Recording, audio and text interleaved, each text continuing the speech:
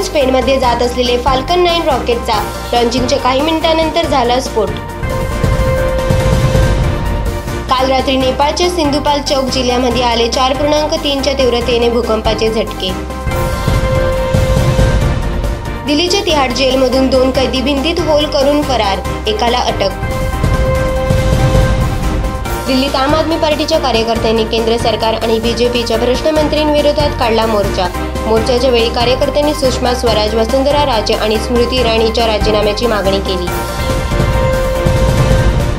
कोलकात्यात UGC net दोन हजार पंधराच्या परीक्षेदरम्यान व्हॉट्सअपच्या माध्यमातून कॉपी करणाऱ्या विद्यार्थ्याला झाली अटक. आज लॉन्च होणार शाओमीचा सर्वात updated budget smartphone Redmi Note seven smartphone maker company ओप्पोने आज स्मार्टफोन निओ फाईव्ह केला लॉन्च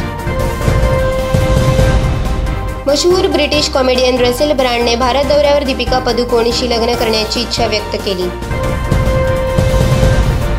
शेअर बाजारमध्ये आज दोन वाजून तीस मिनिटांनी सेन्सेक्स शून्य पूर्णांक तीसने घसरून सत्तावीस हजार आठशे अकरा पूर्णांक चौऱ्याऐंशीवर पोहोचला.